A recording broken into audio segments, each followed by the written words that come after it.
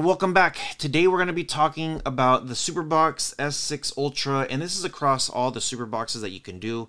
Um, getting into the developer options, if you guys want some more options, more control, um, I'm going to show you guys how to get there. Very, very simple. I've done some videos on this before. Some people are asking me on an updated one, so I'm going to show you guys that how to do it. If you guys are brand new to the channel, consider subscribing. And if you're a returning subscriber, welcome back. Try to get you guys here all the latest and greatest. If you guys are interested in this, shoot me an email, rohasentertainment at gmail.com, and I will get you guys a really, really good deal. And then if I'm out, check the description below. I will leave a link to this. Okay, let's come here to my device, and I'm going to show you guys exactly how this thing works.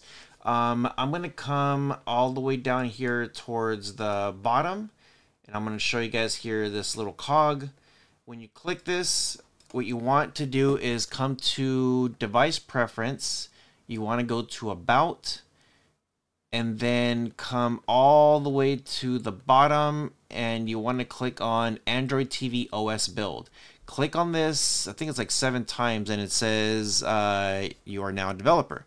Once you do that, click the back button once and now that will give you uh, all the access that you need. Now, just to go um, a little bit further into this, um, you do have like kernel versions, Android TV patch uh, level. You have your flash, your your RAM, um, the model status. If you need a reset for whatever reason, this is where you do it. But I wouldn't just jump into this right away.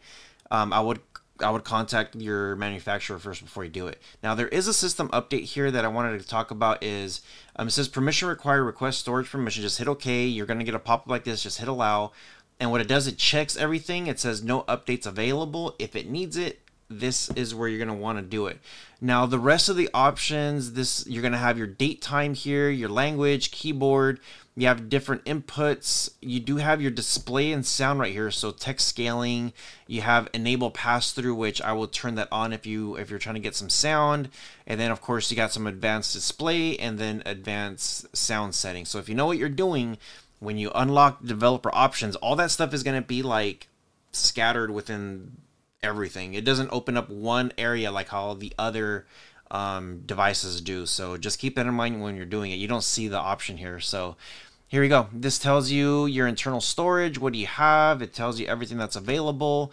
Um, you just click on whatever it is, then you could see all apps, get to the permissions, like whatever it is that you're going to want to do.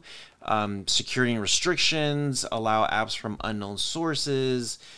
Just everything should be turned on, I think, automatically here as you're installing things. So just keep that in mind when you are uh, messing around. So they really did a, uh, they did some work on this thing, so that way things aren't just easy easily accessible. You really have to know what you're doing because people do get in here and kind of like mess things up. So you do have your Google Assist. You have Chromecast built in, screensaver, energy saver, location, accessibility, and then if you need to restart it, you can.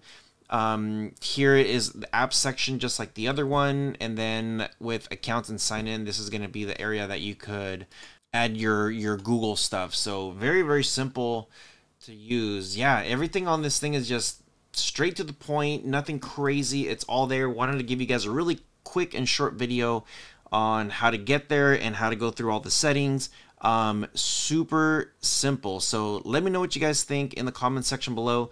Um, I know some people really do like to see developer options as a category in its own.